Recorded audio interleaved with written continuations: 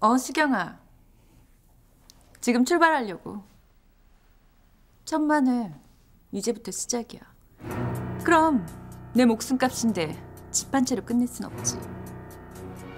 너한테 약속했던 돈도 곧 해줄 테니까 조금만 기다려.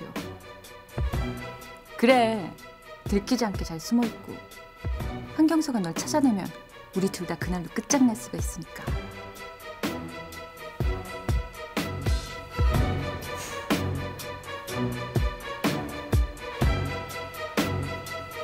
이사를 해? 설마 언니가 얻어준 건 아니겠지? 언니, 그래, 내가 얻어줬어. 언니 미쳤어? 언니가 왜? 그만 좀 해. 아픈 사람이야.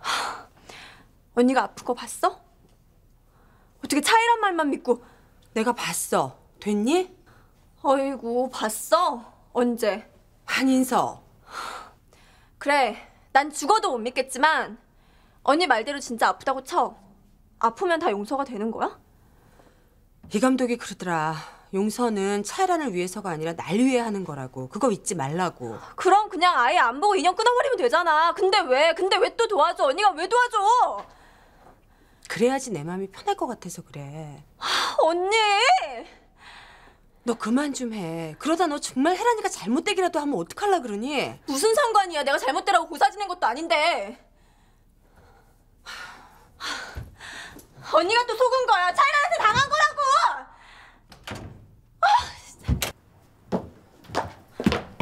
정말 아픈 거면 왜 병원에 안 가? 언제 어느 병원에서 그런 진단을 받았는지 왜 안 가르쳐 주냐고. 식구들이 알면 병원에 강제로 입원시킬까봐 그래서 말을 안 하는 거란다. 입원을 할 상태면 해야지. 병원이 싫대. 항암 치료 받고 수술 받고 얼마 남지도 않은 시간 침대 위에서 그렇게 보내다가 가기는 싫대. 그런 얘기는 드라마나 영화에서나 나오는 얘기고. 혜란이 같은 환자들이 있으니까 영화나 드라마에서 그런 얘기가 나오는 거야. 그런 생각 아무도 안 하는데 어떻게 그런 대사가 나와?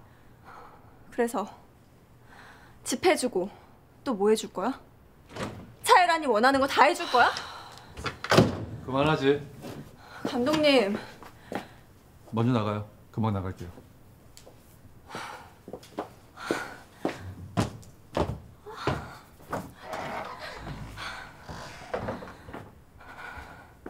언니가 걱정돼서 이러는 건 이해를 하겠는데 아, 이해하시면 감독님도 말리셔야죠 저렇게 그냥 다 퍼주게 놔두시면 어떡해요 난 언니가 예전에 한경서로 돌아갈 수만 있다면 다른 건 아무래도 상관없는 사람이야. 돈 내가 가진 것까지 다 퍼준다고 해도 난 상관없어.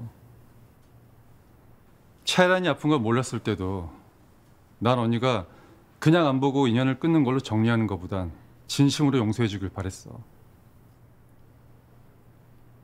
그래야 언니 자신도 과거에서 완전히 해방될 수 있을 테니까. 그건 차이란도 진심일 때 얘기죠 차이란은 이번엔 진짜야.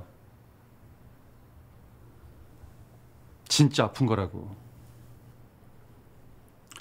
나나 언니를 한 번만 믿어봐. 차라는 못 믿어도 우린 믿을 수 있잖아.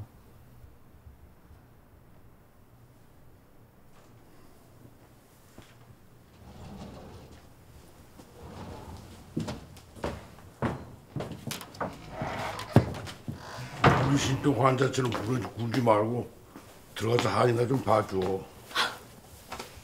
어디 나가시게요? 어, 이재모가 숟가루 구해놨다고 가져가라고 그래서. 그럼 뭐 하시게요? 아, 어디서 들었는지 그걸 뭐 고친 사람이 꽤 있다고 한번 먹여보라고 그러네. 누구? 차이란 얘기예요? 갔다 올게. 아버지